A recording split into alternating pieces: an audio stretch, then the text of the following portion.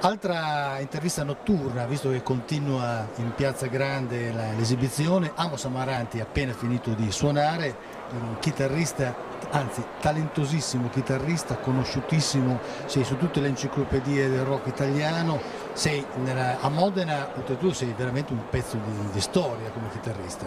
Ma Dio, Dio, ci sono dei chitarristi molto bravi, c'è Portero, c'è anche, anche dalle vostre parti, c'è Fornili di Parma, poi eh, lo stesso Solieri, suonavamo insieme nelle parrocchie addirittura, agli inizi dei circoli arci suonavamo insieme. Maurizio? Sì, sì, sì, Maurizio Solieri. Poi ci sono dei, dei chitarristi molto bravi nel, camp nel campo jazz, eh, però purtroppo non escono mai perché Beh, a parte che fanno anche degli altri lavori come anche io, anche io stesso faccio, faccio un altro lavoro, cioè purtroppo faccio un altro lavoro, ma non so, tutti, tutti lo, lo, sostengono, però io mi reputo sono chitarrista poi mediocre. No, no, no, non è vero. Eh, la tua avventura musicale più conosciuta è stata quella con i Nomadi. È stata un'avventura iniziata cos'era? Nel 69, 70? No, no, no, 72, 72.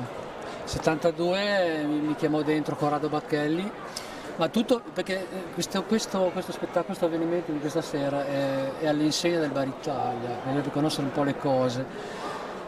Bar Italia, fucina di, di, di, di gruppi, Pito Vandelli l'ho conosciuto veniva, è venuto anche a casa mia a sentire dei pezzi quando ero, avevo 17 anni, poi a 18 anni sono entrato nei Nomadi.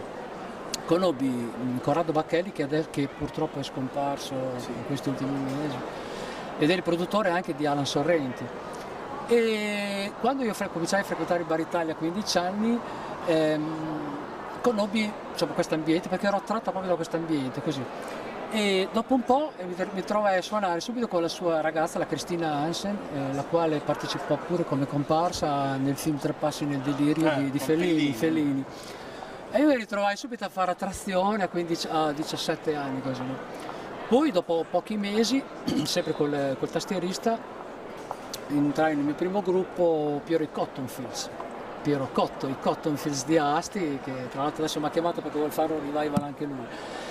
Dopodiché, eh, dopo, po dopo, pochi mesi mi arrivò la chiamata, no, chiamata, sono chiamata chiamata per entrare in nomadi, poi sì, sono rimasto lì poi lontano, nove mesi, tempo di vagabondo. Sì, poi, poi, era eh, l'incisione? Sì, sì. No, l'incisione no, l'avevano già incisa, io entrai proprio a San Vincent, il disco per l'estate. Purtroppo i video sono stati perduti tutti in un incendio alla RAI. Eh, proprio, cioè io non ne trovo uno. Infatti ho provato a contattare anche la RAI di Roma, non sanno niente. Nel 72 proprio tabula rasa.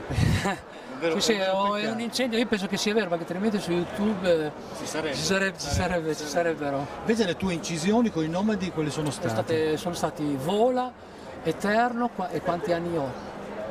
Eh, sì, esatto, quei tre brani li ho fatto con loro inciso con loro. Sì, che sono il Vola Eterno, abbastanza psichedelici. Sì, no? sì, sì, Vola c'era, una solo bellissima che l'ho presa anche la pubblicità della BAC. Mi ricordo, presa il mio solo, no? E nella televisione, cioè durante le, sì, le, la, la pubblicità si sentiva il mio solo allora una sera in casa, dico, mamma ma questo qua sono io, ah beh, eh, ma è vero, si senti. Aveva preso un estratto del... Quindi hai fatto un sacco di soldi con no, quelle no, neanche un dialetto modenese. Eh, dialetto modenese. Senti, cos'è rimasto dello spirito Grande Italia a Modena? Ma ci sono alcuni personaggi che sopravvivono. C'è Savigni. Franco Anderlini. Franco Anderlini, sì, Beh, perché siccome li vedo poco sono spariti anche dalla mia mente, cioè voglio dire. Però no, a parte che purtroppo come sapete in quel periodo c'era la mietitura della, della, da parte delle droghe, insomma ci stava fatto un calvario. E, però molti insomma quelli che sono riusciti a passare attraverso le macrobiotiche, le religioni, le droghe, più nella più ne metta sono, sono, inseriti, li vedo, abbiamo dei ricordi, sono molto lontani, però adesso quest'anno in questa manifestazione hanno voluto riproporre un remember che molto probabilmente si protrarrà per, gli, per, i prossimi anni ogni 29 settembre penso. Bene, quindi sarà un'occasione per rivederci anche quest'altro anno. Sì, sì, sì. Grazie Amos. Grazie a te. Ciao. Ciao.